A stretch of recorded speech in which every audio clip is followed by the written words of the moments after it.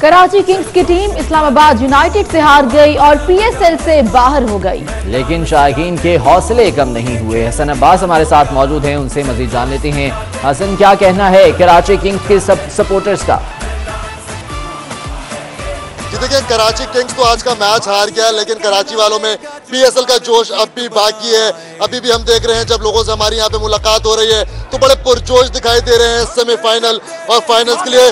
साथ ही साथ लोग हमारे साथ मौजूद हैं। जानने की कोशिश करेंगे क्या तासुरात है पीएसएल के हवाले से।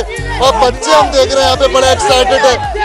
अच्छा ये ये बताओ कि क्या कराची तो बाहर हो गया, लेकिन पीएसएल को अभी भी कराची वाले सपोर्ट करेंगे? हम करेंगे हम। पाकिस्तान तो है पाकिस्तान की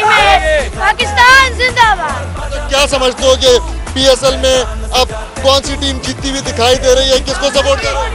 इस बार भी चैंपियन 2019 बनती रहेगी इंशाल्लाह। सभी जो है वो पीएसएल को सपोर्ट कर रहे हैं पाकिस्तान को सपोर्ट कर रहे हैं। ठीक है हसन हसन बहुत शुक्रिया इस बारे में अपडेट कर रहे थे। तो कराची के शाहीन का कहना है कि कराची किंग्स हार गया लेकिन पाकिस्तान जीत गया। पीएसएल का कराची में होना खुशी की बात है।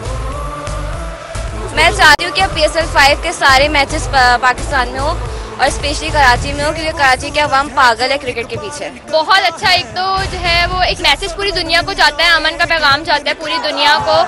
दुश्मन मुल्क ने बहुत कोशिश की कि हमारा जो मैच है या हमारा जो प्रोग्राम है उसको खराब करे लेकिन नाकाम रहे। बहुत बुरा मैच हारा है हम बहुत डिसहार्ड है। बहुत खुशी से आए थे लेकिन बहुत डिसहार्ड है। यही कि लड़कियों को भी बहुत शौक होता है क्रिकेट देखने का और खेलने का तो उन्हें रोके नहीं और बस हम लोग आए हैं। आज खैर हम लोग हार गए पर कोई बात नहीं आखिर में तो पाकिस्तान की जीत हुई है ना। वज़ीर अजम इमरान खान ने वज़ीर अला पंजाब समेत अरकान सूबाई असम्बली की तनख्वाहों में बेपना इजाफे पर अफसोस का इजहार कर दिया। और इस फैसले को बिला जवाज करार देते हुए गवर्नर पंजाब को बिल पर दस्तखत से रोक दिया है। तफसीत के लिए वली चौधरी की रिपोर्ट देखते हैं। काने पंजाब असम्बली के अरमानों पर ओस पड़ गई। वज़ीर अजम इमरान खान ने वज़ीर अला पंजाब को तनख्वाहों और मराहत में इजाफे का फैसला वापस लेने की हिदायत कर दी। वजी अजम ने अरकान पंजाब इसम्बली की तनख्वाहों में इजाफा नामुनासिब करार देते हुए कहा की मुल्क में खुशहाली आ जाने के बाद तनख्वाहों और मराहत में इजाफे का जवाब बनता है। जब बुनियादी इंसानी जरूरियात फराहम करने के लिए वसाइल नहीं तो ऐसे इकदाम का दिफा नहीं किया जा सकता। जराये का कहना है की वजी अजम इमरान खान ने तनख्वाहों में इजाफे की समरी रोकने की हिदायत करते हुए गवर्नर पंजाब को समरी पर दस्तखत से रोक दिया है। जराये का कहना है कि वजी अजम ने वजी अला पंजाब को बिल दोबारा ऐवान में लाने की हिदायत भी कर दी है, जबकि वजी अला को दी गई लाइफ टाइम मराहत का फैसला भी नज़र सानी की हिदायत की है। Waleed Chaudhry, twenty news, Islamabad. तो वजी अजम की जानब से पंजाब असम्बली के अरकान की तनख्वाहें और मराहत रोकने के फैसले की जहाँ तहसीन की जा रही है, वहाँ इसे तहरीक इंसाफ का मीडिया स्टंट भी करार दिया जा रहा है। आखिर सच क्या है? इस बारे में आपको रिपोर्ट दिखाते हैं। वज़ीर अजम ने गवर्नर को अरकान पंजाब असम्बली की तनख्वाहों और मराहत में इजाफे के बिल पर दस्तखत से रोक दिया है। वज़ीर अला को लाहौर में जो घर मिलना था, अब वो भी नहीं मिलेगा। वेल डन वज़ीर आज़म।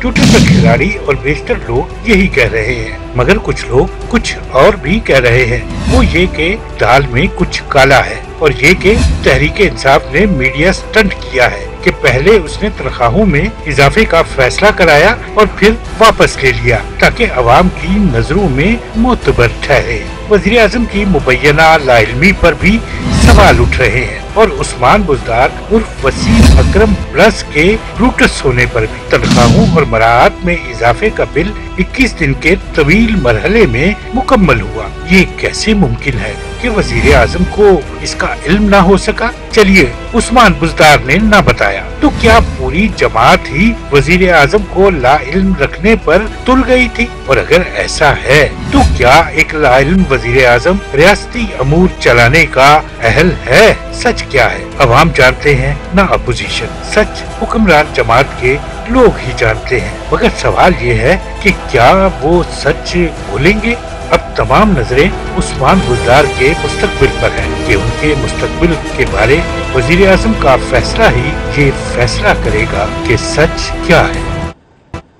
अरकान पंजाब असम्बली की तनख्वाहों और मराद में पहले इजाफा और फिर वज़ीर अजम का वापस लेना। लोगों ने इसे सियासी शोबदाबाजी करार दिया है। अवाम का इस बारे में मजीद क्या कहना है, आप भी देखिए। ये अच्छा कदम कह सकते हैं इसे क्योंकि पाकिस्तान के माशी हालात ऐसे नहीं हैं कि ये सूबा इस इस बात का मुतमिल हो सके कि दो गुना तीन गुना तनख्वाहें बढ़ा दी जाएँ। एम पी एस या एम एन एस जो ऑलरेडी ये अयाशी कर रहे हैं और इनके पास अच्छी खासी इनके इनकम्स हैं।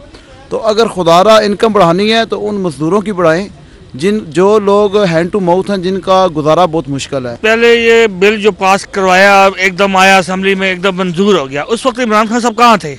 उनके सामने पंजाब में हो रहा था ना? जी पंजाब असम्बली की जो मराद वापसी लेने का फैसला वजी साहब ने लिया है। मेरे ख्याल से तो ये पॉलिटिकल स्टंट है आवाम को तो अभी तक कुछ नहीं दिया गया।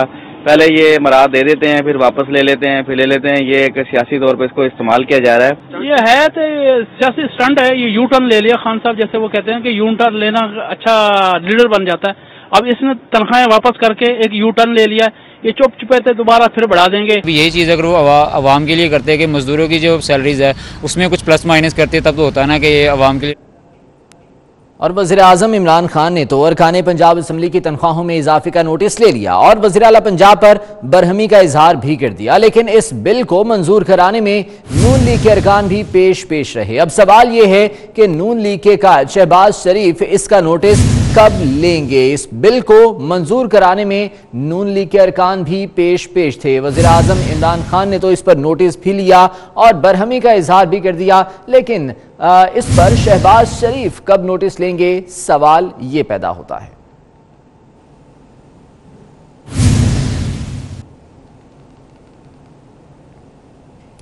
और 24 न्यूज़ एक बार फिर बाजी ले गया। वज़ीर आज़म इमरान खान को 24 न्यूज़ की खबर पर एक्शन लेना पड़ा। 24 न्यूज़ मामला ना उठाता तो अवाम के टैक्सों का पैसा खामोशी से हुक्मरानों की जेबों में जा चुका होता।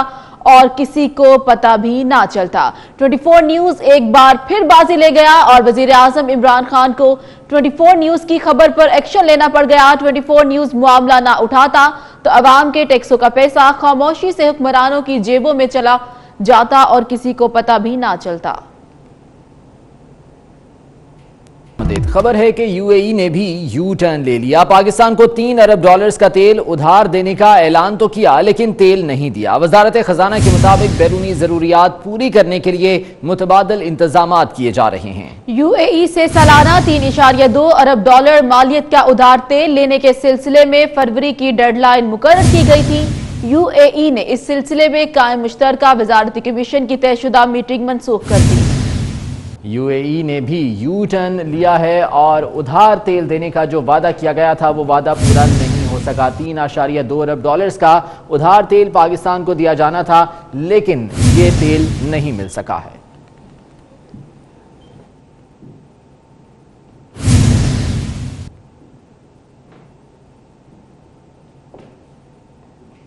और एफबीआर ने बैरून मुल्क पाकिस्तानियों के डेढ़ लाख अकाउंट्स का पता लगा लिया। दस लाख डॉलर मालियत वाले ऑफशोर अकाउंट्स का डाटा भी हासिल कर लिया गया। हुकाम के मुताबिक एक ऑफशोर अकाउंट से सत्रह करोड़ डॉलर की रिकवरी भी हुई। इस्लामाबाद से वकास अजीम की रिपोर्ट देखिए। कायमा कमेटी खजाना का अजलास फैजुल्ला कामूका की जेर सदारत हुआ। एफ़ बी आर ने कमेटी को बताया की पानामा लीक्स में चार सौ पचास ऐसी जायद अफराद के नाम थे, जिनमें से दो सौ इक्यानवे अफराद की मालूम मिली। पंद्रह केसेस के खिलाफ तहकीकात मुकम्मल हुई, जबकि छह अरब पचास करोड़ रूपए वसूल हुए। गुजशत हफ़्ते एक ओवरसीज पाकिस्तानी से सत्रह करोड़ रूपए टैक्स रिकवर किया गया। एफ़ बी आर हुकाम ने बताया की एक लाख अठावन हज़ार ऑफ़ शोर अकाउंट की तफसीत मिल गई दस लाख डॉलर ऐसी जायद की मालियत के ऑफ़ शोर बैंक अकाउंट की तहकीकात की जा रही है। दुबई में पाकिस्तानियों की पाँच सौ छप्पन प्रॉपर्टीज़ का इंकशाफ हुआ। चार सौ ऐसी जायद अफराद टैक्स एमनेस्टी हासिल कर चुके हैं। बरतानिया में पाकिस्तानियों की जायदादों की तहकीकात जारी है, जबकि आठ हज़ार बेनामी अकाउंट का पता भी लगाया गया। चेयरमैन एफ़ बी आर ने कमेटी को बताया की फाइनेंस बिल में एफ़ बी आर को इन केसेस की तहकीकात का इख्तियार दिया गया। बेनामी कवानीन टैक्स वसूली के लिए नहीं, बल्कि मनी लॉन्ड्रिंग को रोकने के लिए नाफिज किए। चेयरमैन एफ़ बी आर ने कमेटी को बताया की एफ़ बी आर ने अलीमा खान का केस नहीं निकाला। सुप्रीम कोर्ट ने आज खुद नोटिस लिया। कमेटी ने एफ़ बी आर की तहकीकात पर अदम इतमान का इजहार किया और मुतल इदारों को तलब कर लिया। वकास अजीम 24 न्यूज़, इस्लामाबाद। जबकि अरकान पार्लियामेंट भी एफबीआर के निशाने पर आ गए 200 नॉन फाइलर्स अरकान पार्लियामेंट को नोटिस भेजने का हुक्म दे दिया गया। इस्लामाबाद से वकास अजीम की रिपोर्ट देखिए।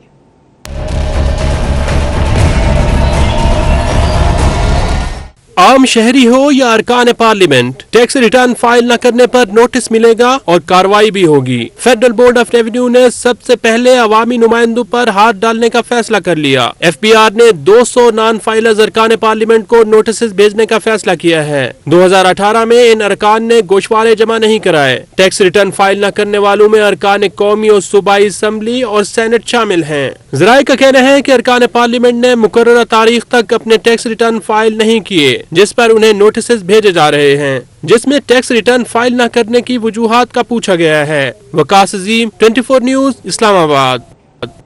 कुछ दीगर खबरें शामिल करेंगे। पीटीआई की सूबाई हुकूमत नवाज़ शरीफ की सेहत पर सियासत करने से बाज न आई। सबक वज़ीर आज़म नवाज़ शरीफ को जेल में कार्डिक यूनिट कायम करके इलाज देने के हुकूमती बुलंदोबाग दावे की कलई खुल गई। कोट लखपत जेल में सबक वजी अजम नवाज़ शरीफ के इलाज के लिए कार्डिक यूनिट कायम करने के दावे की असल हकीकत सामने आ गई। यहाँ नवाज़ शरीफ के अस्पताल में दाखिल होकर आर्ज कल्ब के इलाज से इनकार पर सूबाई हुकूमत की जानब से कोट लखपत जेल में एक एंबुलेंस और डॉक्टर तैनात करके कार्डिक यूनिट के क्याम का दावा किया गया। ताहम हुकूमत का यह दावा सिर्फ़ दावा ही निकला।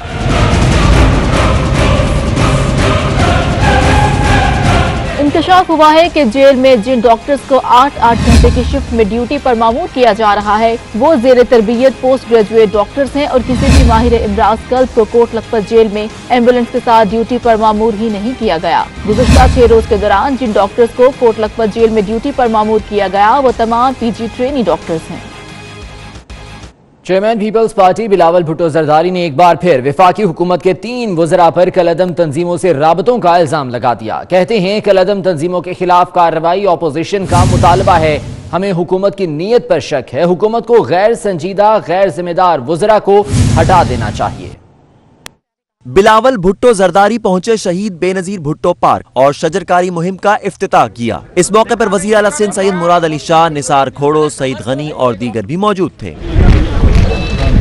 मीडिया से बात करते हुए बिलावल भुट्टो जरदारी ने जाली अकाउंट्स के इल्ज़ाम को एक बार फिर झूठ करार दिया और कहा कि उन्हें चीफ जस्टिस भी बेगुनाह करार दे चुके हैं। मगर किसी के कहने पर केस में नाम डालना दुरुस्त नहीं। समझता हूँ कि जब कोई चीफ जस्टिस कह रहा है इस मुल्क का चीफ जस्टिस कह रहा है कि मैं बेगुनाह हूँ किसी के कहने के किसी के कहने पे मेरा नाम इसमें डाला गया तो फिर मैं समझता हूँ कि यही काफ़ी जवाब है इन सवाल क्या नेशनल एक्शन प्लान पर बात करने वाले सब मुल्क दुश्मन है? जब तक आपके कैबिनेट में तीन वज़ीर होंगे जो जो कि सब जानते हैं कि इंसिडेंट्स हुए हैं या पुराने हिस्ट्री है उनका कलदन तंजीमों के साथ, और उनको हटाते नहीं हो।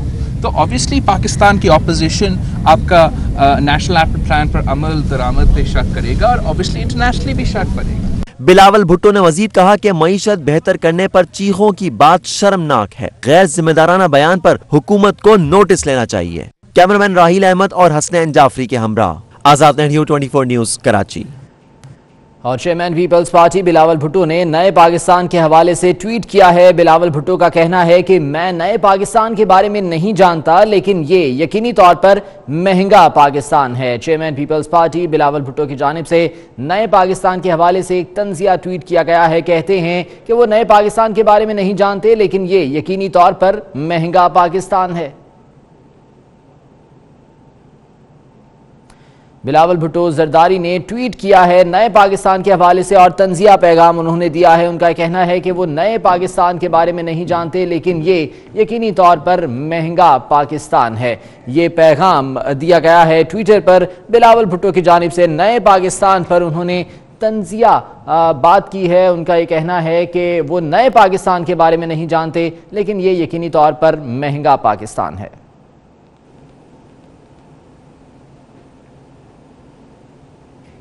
वजी अजम ने सयाहत के फ़रोग के लिए ऑनलाइन वीज़ा पॉलिसी का इजरा कर दिया। कहते हैं कि पाकिस्तान के शुमाली इलाका जात रकबे में स्विट्जरलैंड से दो गुना ज़्यादा हैं। इस्लामाबाद से अवैस कयानी की रिपोर्ट देखिए। हुकूमत का सियाहत और सरमाकारी के फरोग के लिए एक और कदम। वजी अजम इमरान खान ने ऑनलाइन वीज़ा पॉलिसी के इजरा का अफ्ताह कर दिया इब्तदाई तौर पर पाँच ममालिक के लिए ऑनलाइन वीज़ा हासिल करने की सहूलत होगी। पायलट प्रोजेक्ट कामयाब होने की सूरत में पाकिस्तान आने के ख्वाहिशमंद एक सौ पचहत्तर ममालिक के शहरी कंप्यूटराइज सिस्टम के ज़रिए वीज़ा अप्लाई कर सकेंगे। नादरा ने वीज़ा अप्लाई करने वालों के लिए नया पोर्टल जारी कर दिया। दरखास्त गुजार, नादरा की वेबसाइट आरोप ऑनलाइन दस्तावेजात और फ़ीस जमा करा सकेंगे। सिक्योरिटी को मद्देनजर रखते हुए ऑनलाइन को बॉर्डर सिस्टम ऐसी मुंसलिक कर दिया गया है। वजारत दाखिला ने ऑनलाइन वीज़ा सिस्टम के लिए पॉलिसी और दस्तावेजात की तफसील जारी कर दी। ऑनलाइन वीज़ा के लिए मुख्तलिफ़ कैटेगरीज में visit visa, tourist visa, business visa, work visa, journalist visa और ऑफिशियल या डिप्लोमेटिक वीज़ा शामिल है। सियाहत के फरोग के लिए पचास ममालिक के शहरियों को वीज़ा ऑन अराइवल की सहूलत फराम की गई है। छियानवे ममालिक के शहरियों को बिज़नेस वीज़ा जारी करने की तजवीज दी गई है। इस सहूलत ऐसी फ़ायदा उठाने वाले अड़तालीस घंटे कबल इलेक्ट्रॉनिक ट्रेवल ऑथराइजेशन के लिए दरखास्त दे सकेंगे। मजहबी मकासद के लिए वीज़ा पैंतालीस दिनों के लिए कारामद रहेगा। सहाफियों के लिए जर्नलिस्ट वीज़ा प्रोसेस में भी तब्दीली की गई है। सहाफियों के लिए तीन शहरों तक अपनी आमदोरफ्त महदूद रखने की पाबंदी भी उठा ली गई है। गैर मुल्की सियाह अब आज़ाद कश्मीर गिलगिल बल्तिस्तान और ओपन कंटोनमेंट के एरियाज़ में भी जा सकेंगे। Awais Kiyani twenty four news Islamabad. Punjab भर में 24 घंटों के दौरान 815 हादसा रूनुमा हुए। रेस्क्यू हुकाम के मुताबिक इन हादसा में 13 अफराद जाँ बहक और 920 अफराद जख्मी हुए। लाहौर 217 ट्रैफ़िक हादसा के साथ सरे फहरिस्त रहा। जबकि फैसलाबाद में इक्यासी मुल्तान में पचपन ट्रैफ़िक हादसा हुए। पंजाब भर में 24 घंटों के दौरान 815 हादसा के वाकयात रूनुमा हुए हैं जिसमें 13 अफराद जाँ बहक और 920 अफराद जख्मी हुए।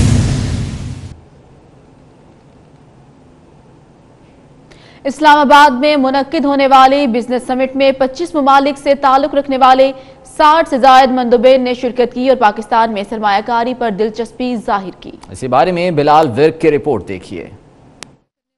इस्लामाबाद में मुनद होने वाली बिज़नेस समिट का आखिरी दिन। समिट में वफाकी वज़ीर दफाई पैदावार, जुबैदा जलाल और पार्लिमानी सेक्रेटरी अंदलीब अब्बास ने हुकूमत की नुमाइंदगी की। इन्वायरमेंट बनाए ताकि हमारे लोग हमारे साथ पार्टनर्स बने वेंडर्स हों या इंडस्ट्रियलिस्ट हों साथ मिलके हम अपनी प्रोडक्शंस को बेहतर भी बना सकें चाहे हम टेक्नोलॉजी की बात करें डिजिटलाइजेशन की। इस मौके पर पार्लिमानी सेक्रेटरी अंदलीब अब्बास ने कहा कि हमारी सरहदों पर खतरे के बावजूद 60 गैर मुल्की सरमाकार कॉन्फ्रेंस में शरीक हैं। पाकिस्तान ने जो स्टैंड लिया है वो सारी दुनिया ने अप्रिशिएट किया है। और पाकिस्तान को हालात के बावजूद सबने कहा है कि हम आके सपोर्ट करेंगे।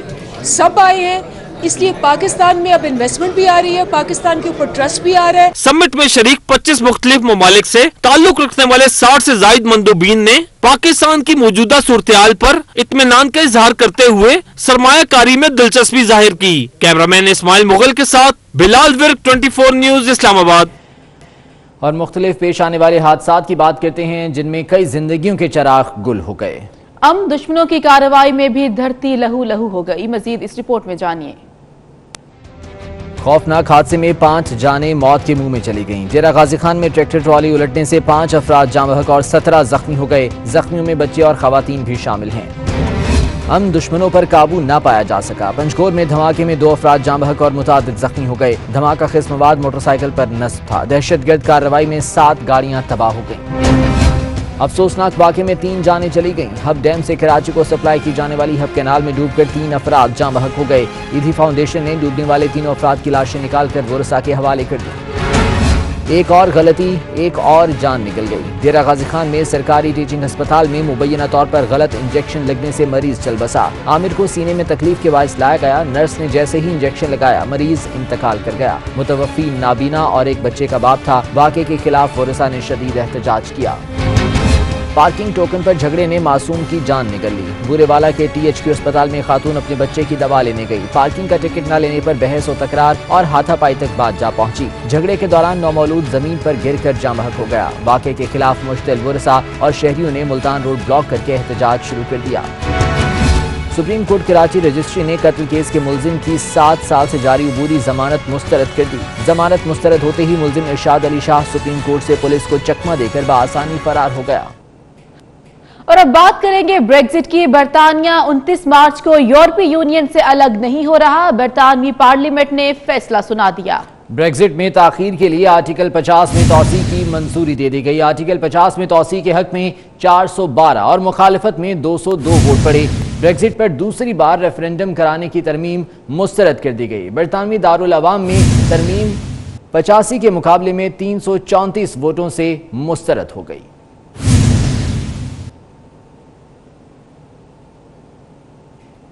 अमेरिका में तूफानी हवाओं और बर्फानी तूफ़ान ने ज़िंदगी मफलूज करके रख दी। पचहत्तर मील फ़ी घंटा की रफ्तार से चलने वाली हवाओं ने घरों की छतें उड़ा दी, छोटे तैयारे भी उल्टा दिए।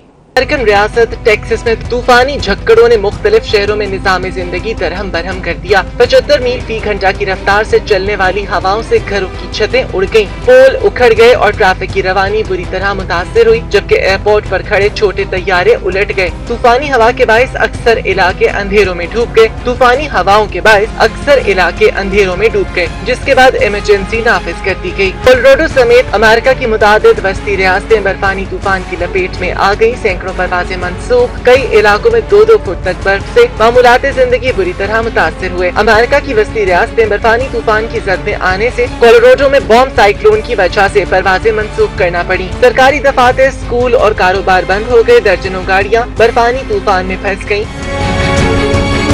नेशनल वेदर सर्विस ने कोलोराडो वायोमिंग निब्रास्का और डिकोटा में वार्निंग जारी करते हुए लोगों को गैर ज़रूरी सफ़र न करने की अपील की। महकमा मौसमियात ने न्यू मैक्सिको टेक्सास ओक्लाहोमा और कैंसस में 110 किलोमीटर फ़ी घंटा की रफ्तार से हवाएँ चलने की पेश गोई कर डाली है।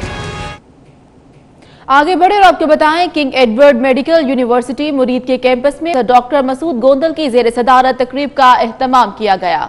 तकरीब में डॉक्टर्स की कसीर तादाद ने शिरकत की। तकरीब के अख्ताम पर प्रोफेसर डॉक्टर मसूद गोंदल ने डॉक्टर्स के हमरा कैंपस में सैकड़ों पौधे लगाए। उन्होंने इस मौके पर पैगाम दिया कि पौधे लगाकर पाकिस्तान को सरसब्ज बनाना है और इंसानों को बचाना है।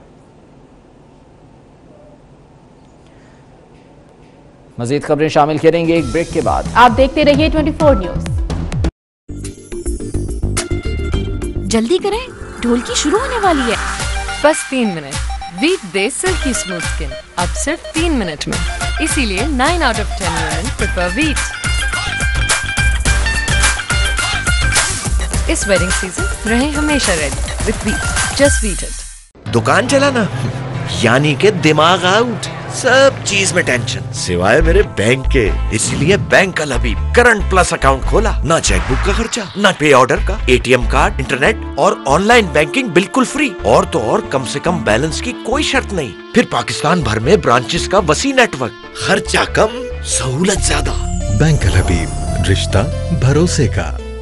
हार्पिक छोटू। तेजाब पतला है इसलिए बह जाए। जबकि हार्पिक का गाढ़ा फॉर्मूला दे एक चक्कर में चमकदार टॉयलेट तभी महीने में हार्पिक छोटू की एक जबकि तेजाब की दो बोतलें हार्पिक छोटू आधी कीमत। मदीना मुनवरा के इस्लामिक यूनिवर्सिटी में आठवां बैन अवी कल्चरल फेस्टिवल जारी है। जिसमें पाकिस्तान समेत 80 ममालिक के 500 तलबा शरीक हैं। मदीना इस्लामिक यूनिवर्सिटी की जानब से आठवां आलमी कल्चरल फेस्टिवल मुनद हुआ, जिसमें अस्सी के करीब ममालिक के तलबा ने स्टॉल्स लगाए। तलबा ने अपनी तहजीब और सकाफत को बड़ी खूबसूरती से पेश किया। फेस्टिवल में मुल्क का तारुफ, उसकी तारीख, मुसलमानों का तनासब, तामीर और तरक्की की रफ्तार और तारीखी मकाम और सियाहती मकाम के मॉडल सजाए गए। फेस्टिवल में शायरी, तकरीरी मुकाबले, रिवायती खानों के मुकाबले और बच्चों के जहनी आजमाइश के प्रोग्राम्स भी तरतीब दिए गए हैं।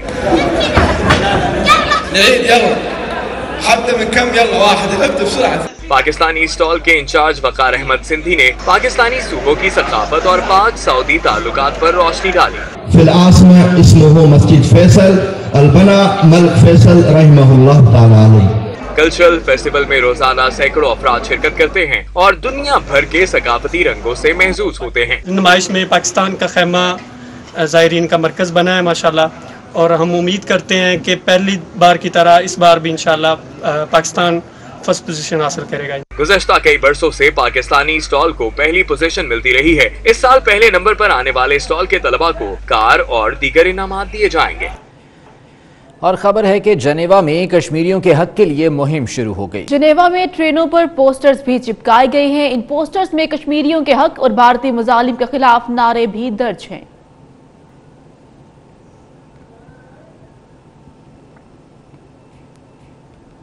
आगे बढ़ते हैं। आपको बताएँ कि बरतानिया में भिकारी आम शहरियों से ज़्यादा अमीर निकले।